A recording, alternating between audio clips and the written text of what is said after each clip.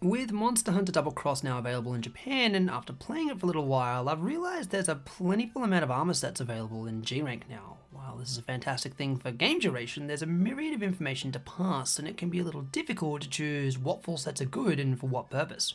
This video series I hope will be able to alleviate this somewhat by detailing what full armor sets give in terms of their slots, defense, resistances, armor skills, as well as the annoying parts to obtain in each set as there's always a couple of them. Each one of these videos should only be a couple of minutes long, but be jam-packed with all the info you need to decide whether the armor's for you or not. Keep in mind with Double Cross, any set's useful now thanks to Transmog, so keep an eye out on the designs as well. On that note, let's get to it.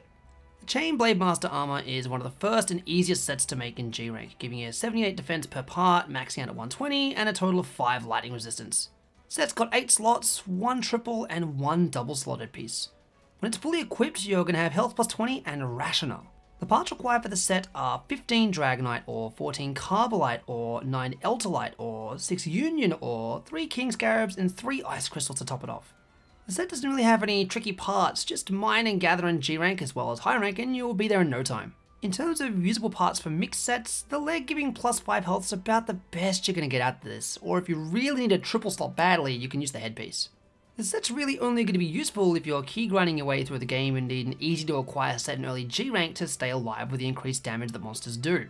It's easy enough to gem in health plus 50 as you may not have ingredients yet, and with the right weapon or charm has space to get an attack style up benefits if you're going for quick clears.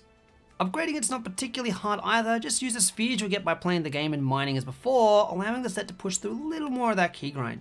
Otherwise, however, if unless you like the look of the set, you can pretty much give this set an entire skip. Want to know more about Nama Set? Let us know in the comments or in, on the other ways I use for social media. And of course, my friends, happy hunting.